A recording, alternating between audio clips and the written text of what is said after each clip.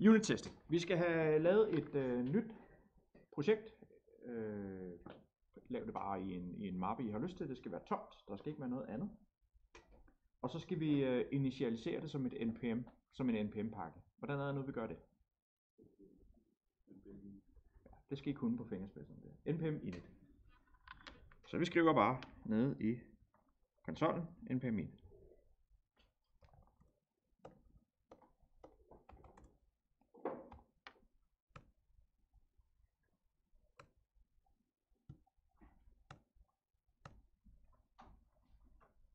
Når jeg kommer til den, der hedder test command, så skriver jeg lige jest.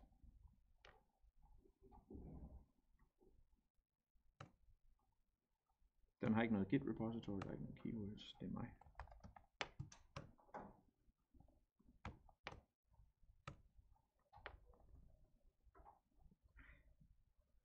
Hvis I husker at skrive øh, jest under test script, så vil I i jeres øh, JSON-fil nu få den her, eller jeres package JSON, der vil I så få den her test er lige jest.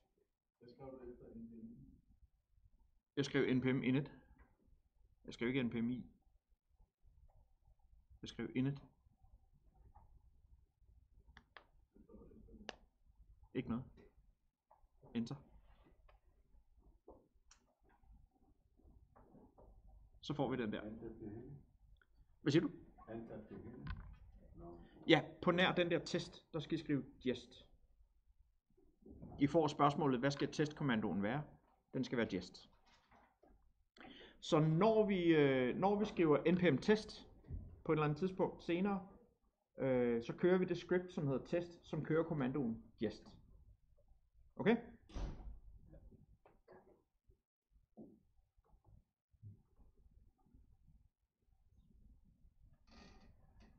Er vi alle med?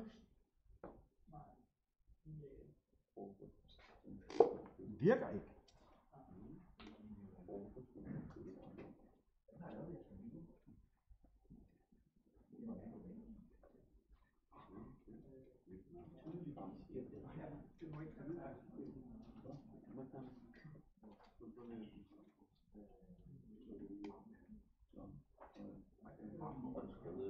Så ikke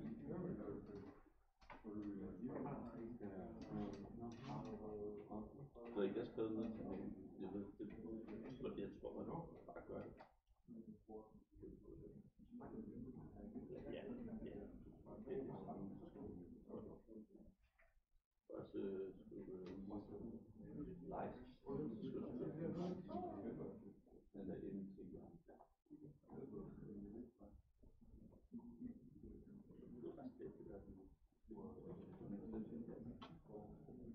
I stedet for at det der ISC, så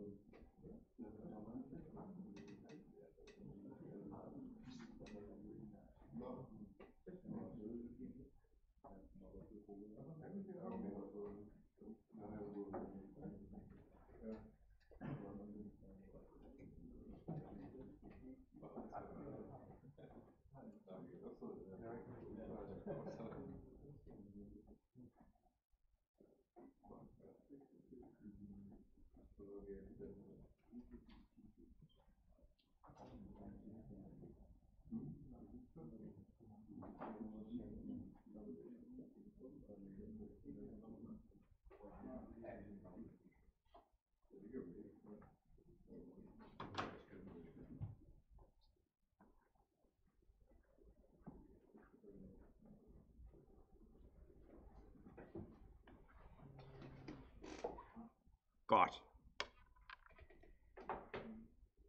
Vi skal, vi skal lave en lille funktion. Den skal, den skal gøre et eller andet simpelt. Er der nogen, der har et forslag til noget, vi kan lave en funktion, der gør noget meget simpelt? En hello world ting.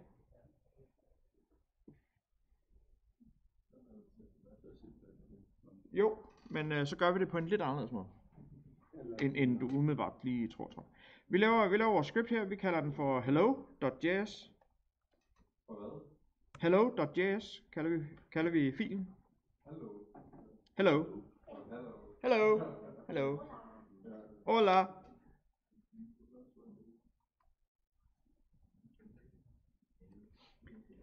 Og så siger vi øh, function hello.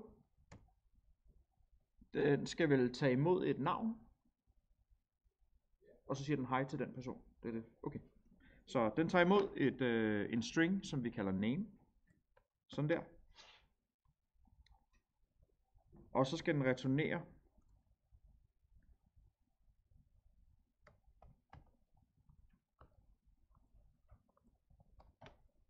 Sådan der. Det er en ultra simpel funktion det her. Men er den pure? Ja. Hvad siger du? Ja, den er simpelthen så ren, som man tror, det er løgn. Øh, den, øh, vil den altid, hvis jeg giver den øh, mit navn, Brian, vil den så hver eneste gang, vi kører funktionen, skrive Hello Brian? Vil den på et eller andet tidspunkt tilfældigt komme til at skrive Hello Christian? Nej, det vil den ikke. Øh, fordi det har vi ikke lavet noget funktion til. Så den er forudsigelig, den her funktion. Øh, ændrer den noget uden fra dens eget scope?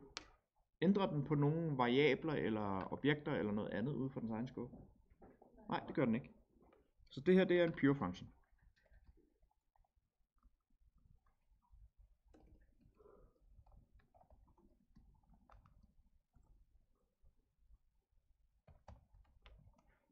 Og så eksporterer vi den lige. Hvad er den? Forskellen er, kan du huske, hvad de hedder? Dem skal vi lige have på. Nej, det kan du huske. E6 dubler, ikke? For et en. Det var den ene. Og den anden hedder E ES6. ES6. Det er den der, det er default. ECMAScript 6. Det er da ikke det, skriver. ES6 moduler. Det er en af dem. Og den anden hedder Common tennis.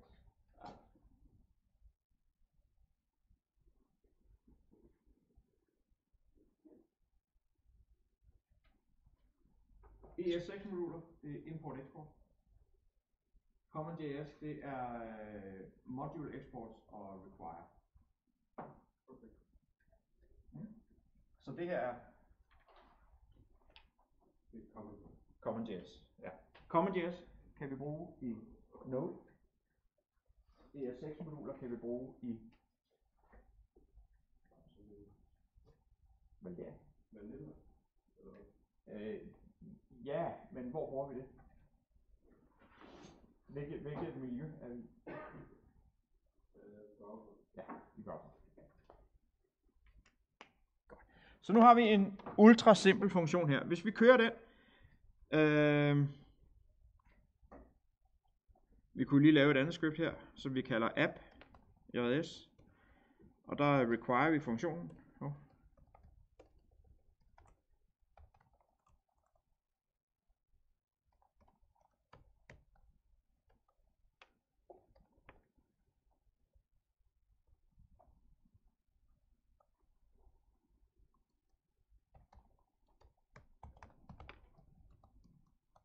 Og så kører vi scriptet. AppJS. Hvad får vi ud af det? Hvad skulle der meget gerne ske? Det skal I vide det her. Den, hvad skal den skrive? Så jeg kan prøve at køre en Node app. Skriver jeg hernede? Nej. Det gør den ikke. Hvorfor gør den ikke det? Det er et trickspørgsmål, det her.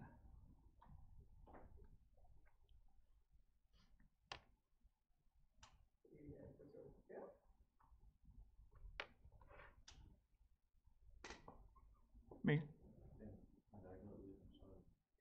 Hvor er vores konsollog? Den er der jo ikke. Ja, godt. Så den returnerer en string, som vi så skal konsol-logge, ikke? Sådan her. Må vi godt det? Må vi godt konsollogge her?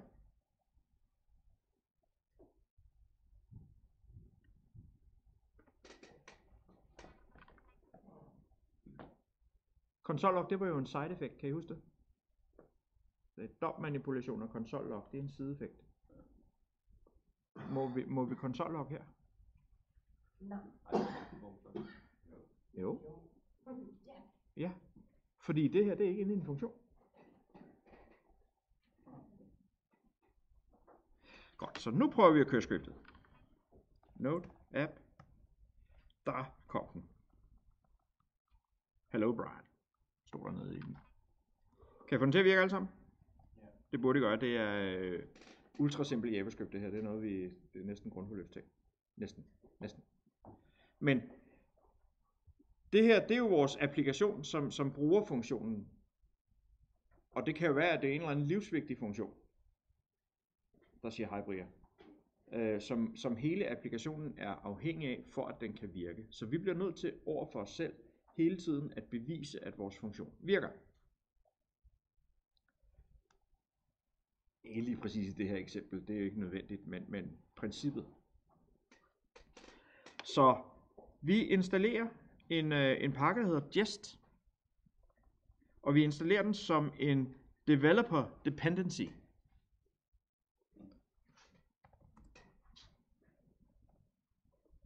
Uh, vi kan skrive sådan her, uh, npm install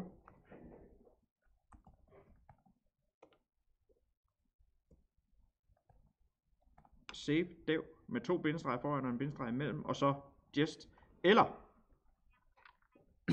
vi kan bruge genvejen. Det her det er sådan, man normalt ville skrive det. npm install save dev jest, eller genvejen stort D.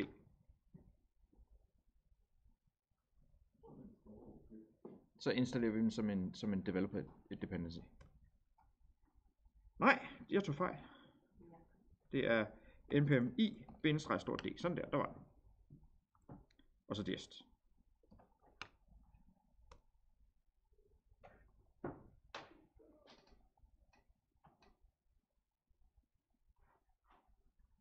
Over i vores package.json, når den øh, lige er færdig med at hakke igennem dernede. Ja, men jest er også en kæmpe ting.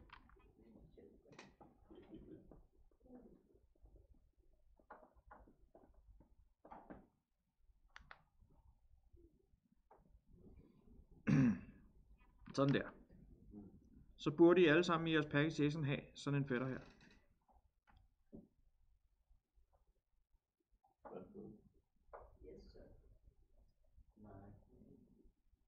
Det har du ikke? Hvad har du så? Bare så der Nå, bindestreg D.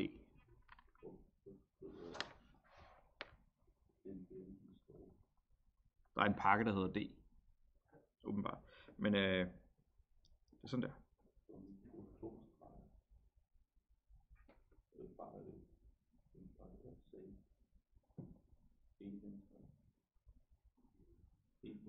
Den skal vi lige snakke om et øjeblik, den der def dependency.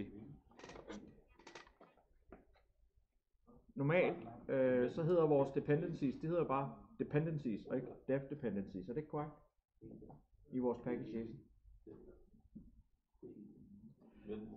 Øh, vi bruger dependencies og dev dependencies på at adskille, hvilke pakker er nødvendige for, at applikationen kører, og hvilke pakker er nødvendige for, at programmøren, altså den, der udvikler devsen, kan gøre sit arbejde. Det, at vi kan teste applikationen og bevise, at den virker, er det nødvendigt for, at applikationen kører? Men det er meget rart for programmøren at have sådan en dims, der hele tiden holder sig i nakken og siger, nu har du lavet en fejl, du skal gøre det om. Øh, så det er en def dependency. Og det er det, som unit testing øh, pakken her, Jest, er. Det er en def dependency. Så den installerer vi som en def dependency. Øh, det samme burde vi faktisk måske i virkeligheden også gøre med øh, alt det halløj, vi havde lavet i Golf. Det er værktøjer, som er nødvendige for udviklere. Men når vi er færdige med at lave pakken, så har vi vores diskmark, og den skal jo køre selvstændigt. Så den har faktisk ikke nogen dependency. Måske. Nogen kan godt. Okay?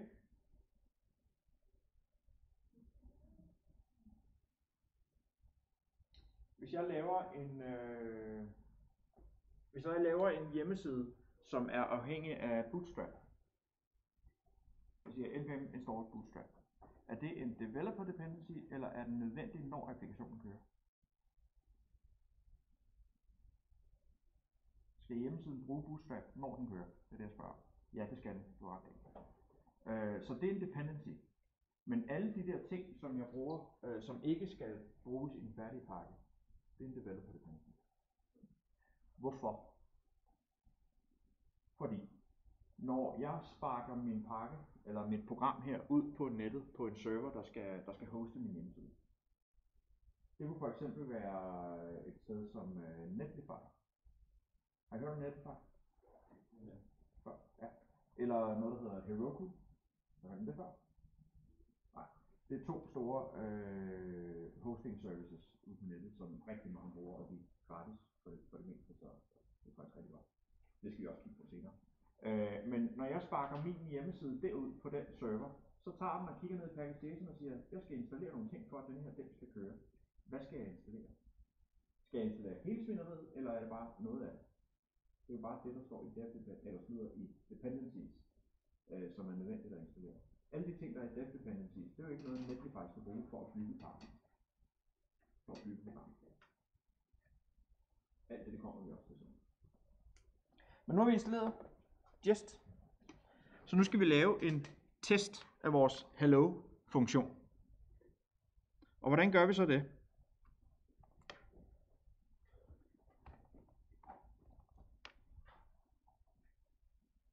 Lad os finde deres dokumentation.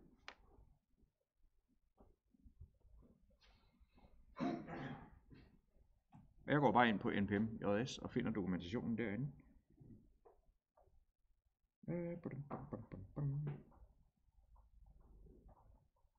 Ja, det er jo så ikke rigtig en dokumentation her, det her, men de har et link til deres hjemmeside.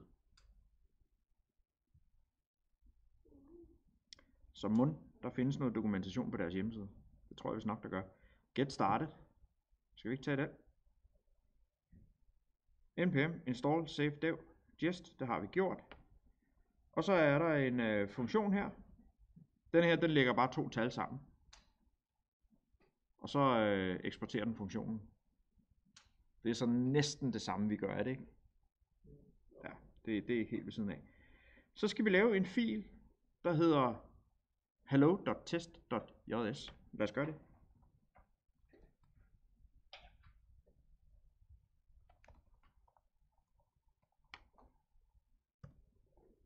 Og hvis man har de der spændende ikoner, så får man et lidt andet ikon på den der hello.test.js. Min den får sådan en reagensglas. Så er vi i laboratoriet. Nu tester vi. Men det er kun, hvis man har sådan en, en, en ikonpakke i sin VS Code. Og, oh, det var forkert. Sådan der. Hvad fanden skal vi så gøre? Jo, i vores testfil, der skal vi så lige importere, eller require, øh, hello-funktionen, så det gør vi.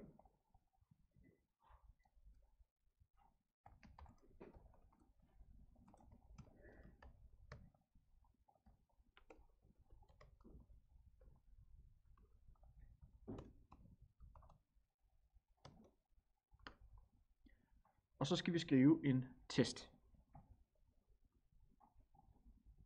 Og det ser sådan her ud.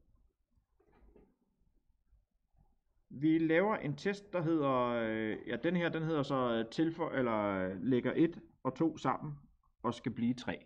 Det er det, vores test hedder.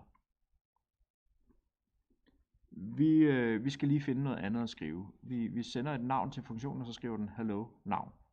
Det er det, vores funktion gør. Den tager to parametre, den her. Den tager en, øh, en string. Det er den der. Og så har den sådan en fætter her bagefter. Hvad er det? Det er også et parameter, Lasse. Øh, ja, men, men det er parameter. Hvad er det her?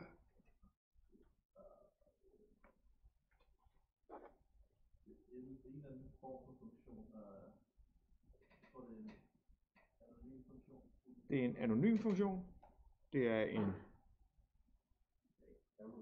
fat arrow funktion. Ja. Eller lambda funktion. Og så er det også en, fordi det er en funktion, der bliver sendt med som et parameter, så er det hvad for en slags funktion? Starter med C og slutter med allback. Det er rigtigt. Det er en callback funktion.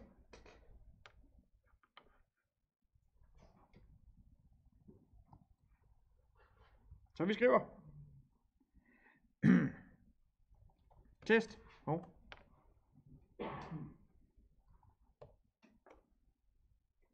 Sådan der. Test. Og så vores string. Øhm.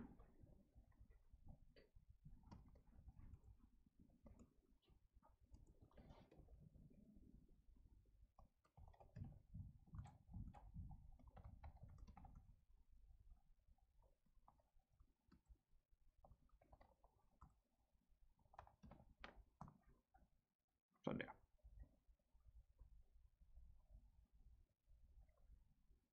Vi sender Brian til funktionen og forventer, at den returnerer Hello Brian. Så skriver vi vores callback-funktion. Jeg kommer lige ned på en ny linje her.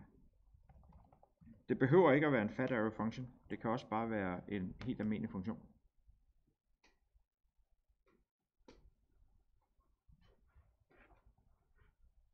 Jeg har bare sat et, et komma ind herefter, og så en ny linje, så I kan se, hvad fanden der står, fordi ellers bliver det alt for lange linjer. Så siger vi expect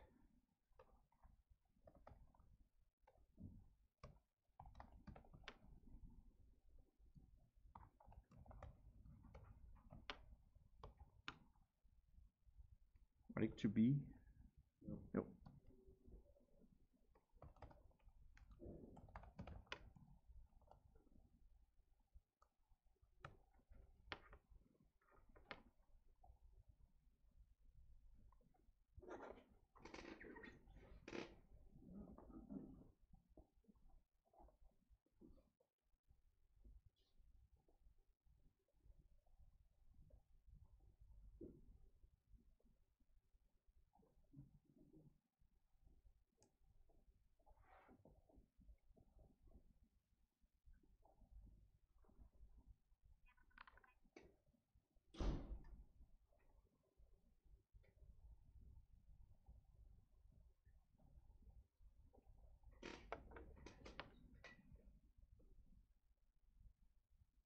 Er vi med her?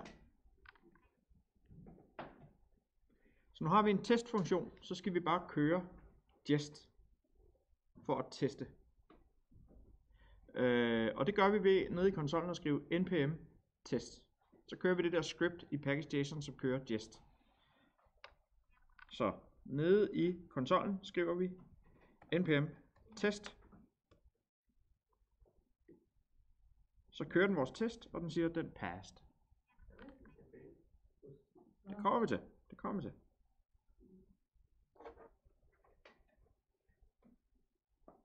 I skriver i konsollen npm test. Så skulle I meget gerne få sådan noget, der minder om det her.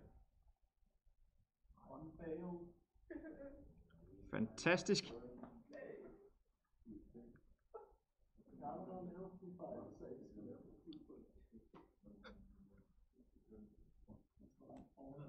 Ej, vi skal lige have den til at fungere rigtigt først. Så skal vi lave, så skal vi lave masser af fejl.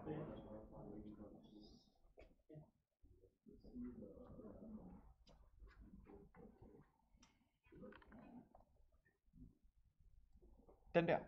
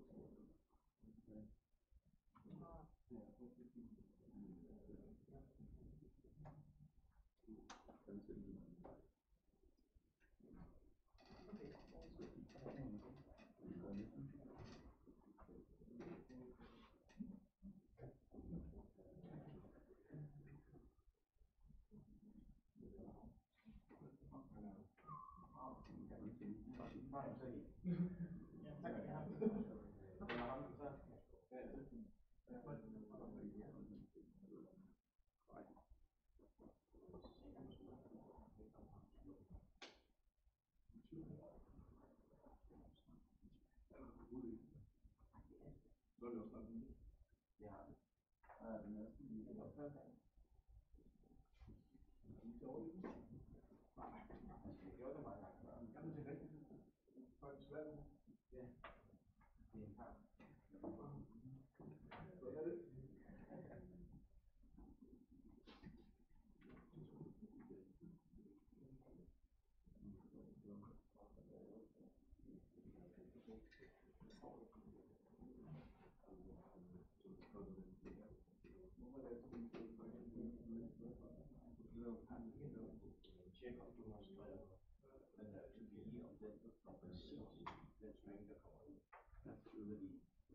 Yeah.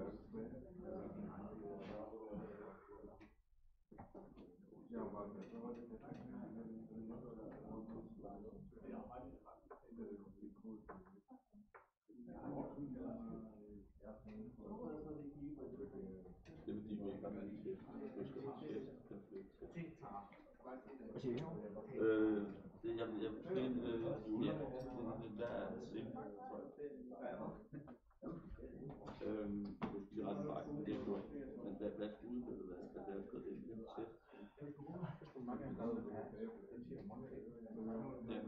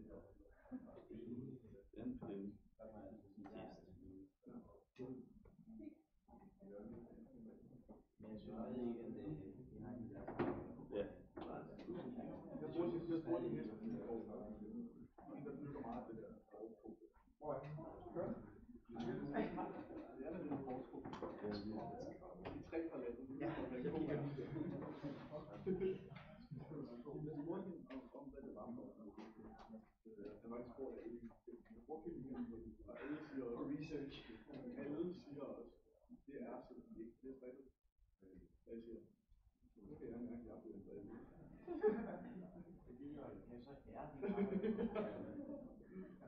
Så det er sådan ikke filter, når man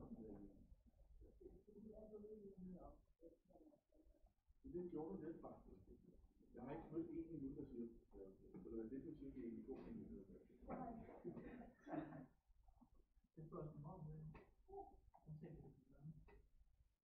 Jeg tror også, det er en, der siger, jeg har været ude i videre. Det er ligesom, ja. Første tegning var sådan,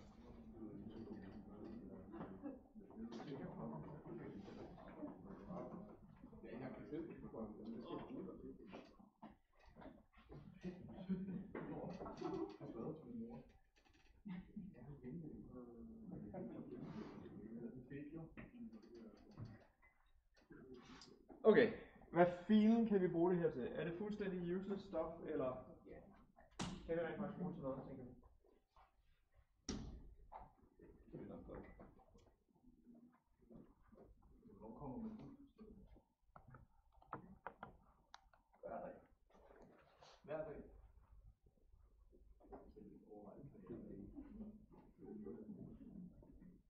Hvad filen kan vi bruge til noget her? Hvorfor?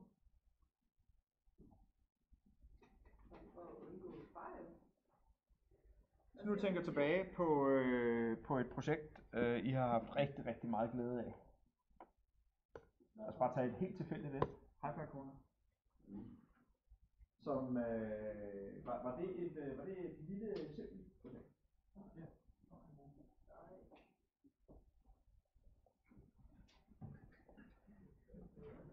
Nej, det var, det var et forholdsvis stort, komplekst projekt. Øh, hvor der var mange inde over den samme ting. Ville der være en, lad os bare kalde det en statistisk sandsynlighed for, at der var nogen i gruppen, der fuckede op på et eller andet tidspunkt, og lavede noget, der ikke var Ejler. Ja. Nej? Den statistiske sandsynlighed den er meget, meget stor. Øh, men hvis vi nu havde test til at sikre os, at alle de funktioner, vi laver, altid vil virke, kunne vi så sikre os, at der ikke er nogen, der fucker op? Svaret ja. Vi kan lave noget, der hedder, det kommer vi ind på senere, men vi kan lave noget, der hedder øh, pre-commit hooks.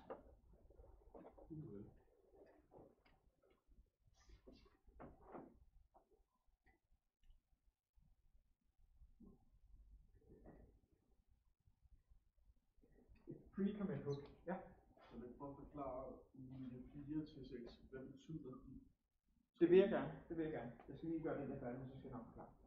Øh, et pre-commit hook er en øh, ting, man kan skrive ind i Git, sådan at du simpelthen på din computer ikke får lov til at committe, medmindre nogle betingelser er opfyldt. Det kunne for eksempel være, at du får ikke lov til at committe noget som helst, før alle tester er bestået.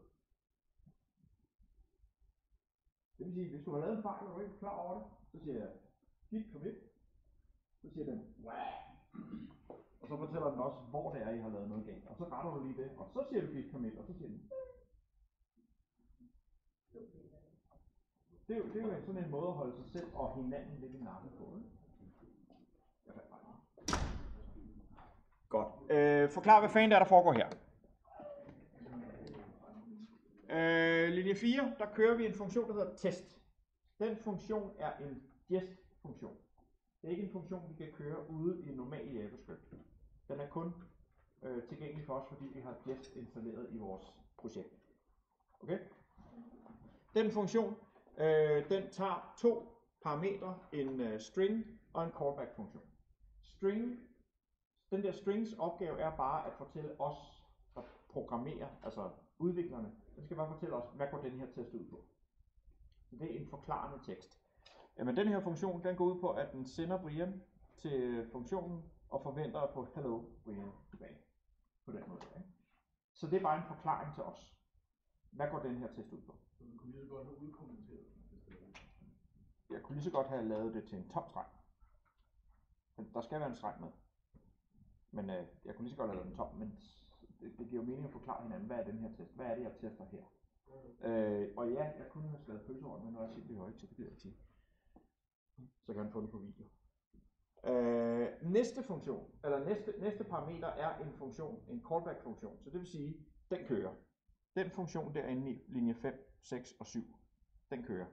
Og inde i der laver vi selve vores test. Jeg siger simpelthen, jeg forventer, at det jeg skriver inde mellem parenteserne her, bliver til det her. Vi kunne lave det meget simplere. Vi kunne lave det meget, meget simplere. Vi kunne lave det sådan her. Nu skal I ikke gøre det, det er bare noget, jeg lige gør for at vise jer. Vi kunne sådan set godt skrive, jeg forventer 2 plus 2 at være 4.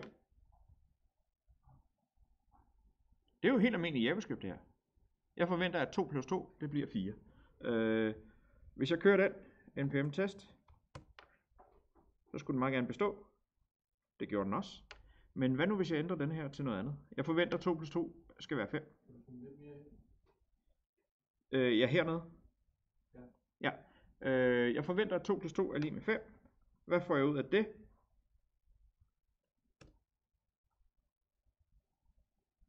Fordi JavaScript godt kan, kan, kan regne.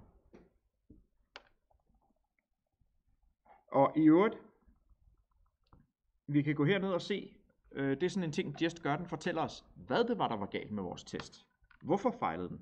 Hvis vi bladrer op her, så siger den, øh, den her funktion, den øh, forventer, at det den modtager skal være det her over. Den forventede 5, den fik 4. Så det er det, der er galt. Okay, den viser os også, hvor fanden det er. Så det er sådan en, en, en venlig måde at få fejl på. Så den forventede 4, men den fik 5. Nej, omvendt. Den forventede 5, men den fik 4. Jamen så er det det, vi skriver. Og så består den igen.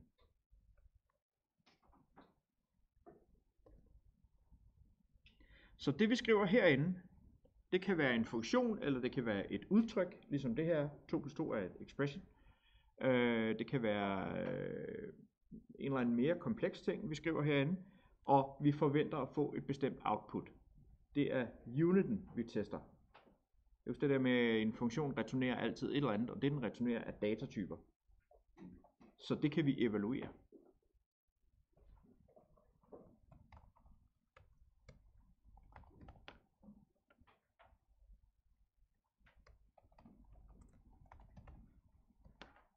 Godt. Nu har I alle sammen skrevet en test, der, øh, der, der passer, altså som, som får øh, øh, grønne mærker hernede i bunden. Nu skal vi øh, prøve at gøre sådan, at testen fejler. Vi må ikke skrive testen om. Hvad kan vi så skrive om?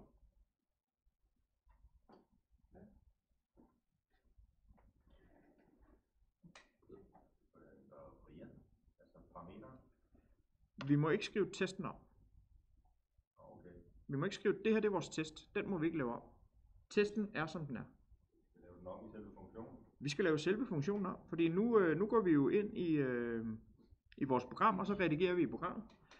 Ah, det var faktisk ikke sådan her funktionen skulle gøre. Jeg kunne godt tænke mig, at der ikke var noget komma, fordi jeg kan ikke lide at være grammatisk korrekt.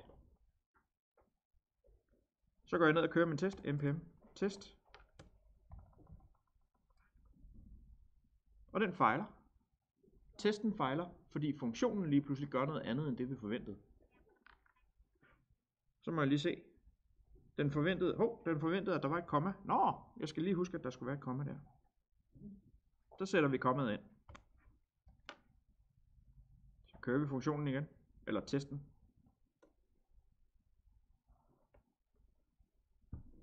Og så passer den igen. Prøv lige at lave jeres egen fejl i funktionen. Ikke i testen, men i funktionen. Bare en eller anden fejl, noget andet end kommaet.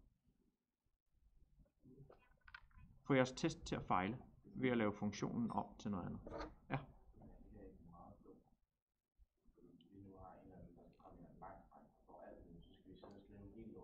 Nej, det her det er, et, det er et meget tænkt eksempel. Uh, vi, kan, vi kan kigge på det her på en mere smart måde. Det her det er bare lige for at lære syntaksen at kende. Men jo. Nej, ikke, ikke, ikke sådan brugbart uden i den virkelige verden. Det kan jeg godt, det kan jeg godt sætte mig ind i. Men det er heller ikke det, det handler om lige nu. Det handler egentlig bare om at øh, lige lære syntaksen at kende. Så prøv lige at få jeres test til at fejle ved at lave om i funktionen. Do it. Do it now. Get to the job bare.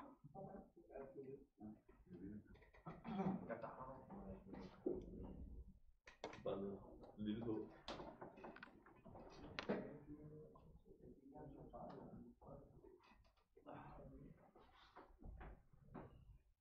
Hvis I alle sammen får jeres funktion til at fejle, så er I lykkes.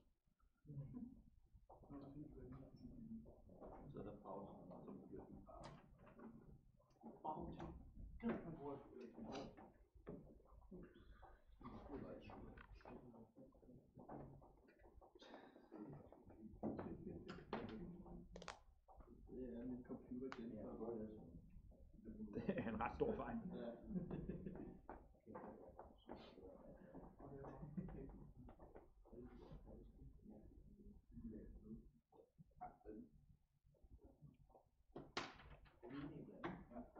Hvad? Nej. Jeg er noget. Ja, altså.